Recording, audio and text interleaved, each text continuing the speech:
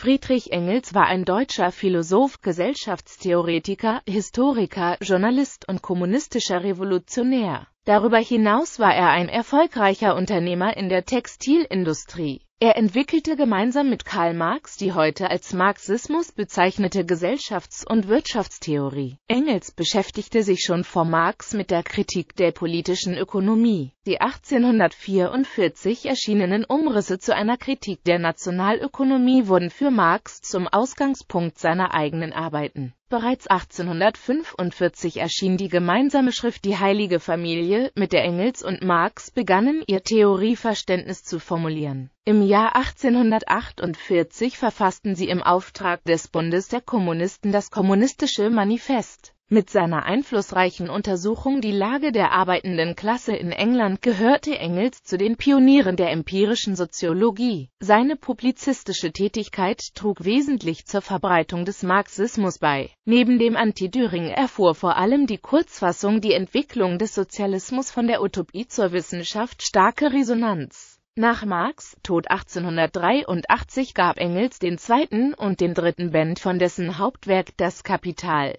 Kritik der politischen Ökonomie heraus. Darüber hinaus setzte er die Arbeit an der theoretischen Ausformung ihrer gemeinsamen Weltanschauung fort, unter anderem in Der Ursprung der Familie, des Privateigentums und des Staats und Ludwig Feuerbach und der Ausgang der klassischen deutschen Philosophie. Neben seinen ökonomischen und philosophischen Studien befasste sich Engels auch intensiv mit der Entwicklung der Naturwissenschaften und der Mathematik und schuf damit den Grundstein für den späteren dialektischen Materialismus. Die Gefahr eines Weltkriegs in Europa sah er deutlich voraus und versuchte noch 1893 mit einer Artikelserie im Vorwärts einen Anstoß zur Reduzierung der stehenden Heere zu geben